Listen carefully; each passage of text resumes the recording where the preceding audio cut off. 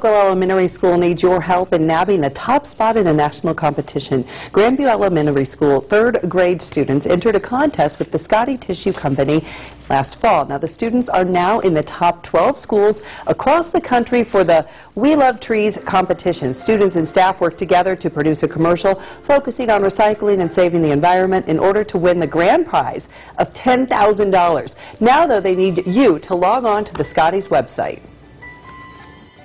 Always talked about how important it is if you take a tree down, you better put one up in its place. And so we really want them to know that trees are an important part of our environment. So let's help them out. All you have to do is go to yourerie.com for a link to vote for Grandview Elementary's video. Users can vote every day now through February 14th. You must be 18 years old, though, to cast a vote.